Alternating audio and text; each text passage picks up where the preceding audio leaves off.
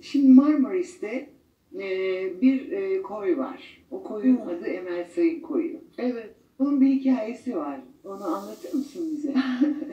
Hülya'cığım bu e, evet bir Emel Sayın koyu var ve beni o kadar onurlandırıyor ki.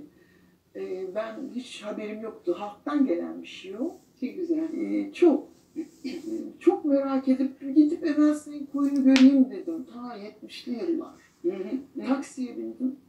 Bir Emel Sayın kuyu varmış beni götürür müsünüz dedim. Çok gülmüştü şoför.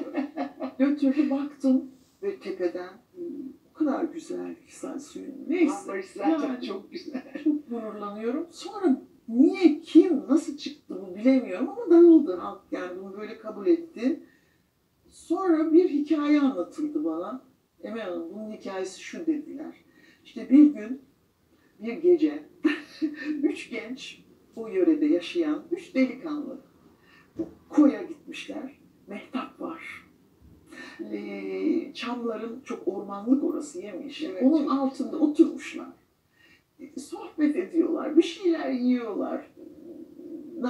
Yani güzel vakit şeyin mehtabın güzelliğin tadını çıkarıyorlar. Bir o sırada denizden onlar biraz yukarıdalar şey bir tekne geliyor ki biz oraya gittik sahiden gece. Yani sahiden bu gerçek mi bilmiyorum. Ama yani çok enteresan. Tabii bir şeyden o gençlerden haberimiz yok. Egemen de vardı teknede. İşte benim ilk eşim. Böyle bir grubuz. Gece tekne gezisi yapıyorduk. E tabii. O kadar güzel, hoşumuza gitti ki şuraya girelim dedik. Ve bir tek ben e, duramam dedim denize girdim. E, işte gençler susmuşlar. Bir tekne geliyor. Konuşmalar, gülmeler falan. Ha, Emel Sayın sesine benziyor diyorlar. E, sus hiç kendilerini göstermiyorlar bize.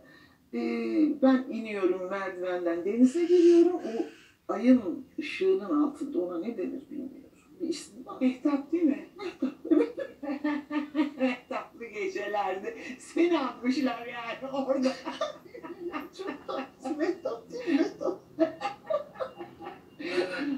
yani o aydınlık olan bir yere vurur ya o ışık. Evet. Ayın şavkın. Ayın şavkın. Ay şalkında.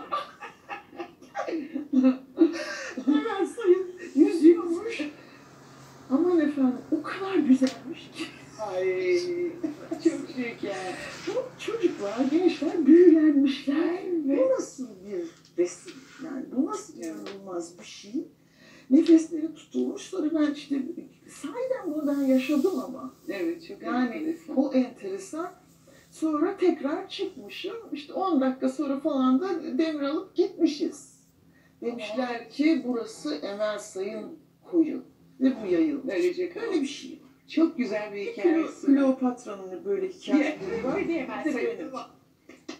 İşte bu kadar.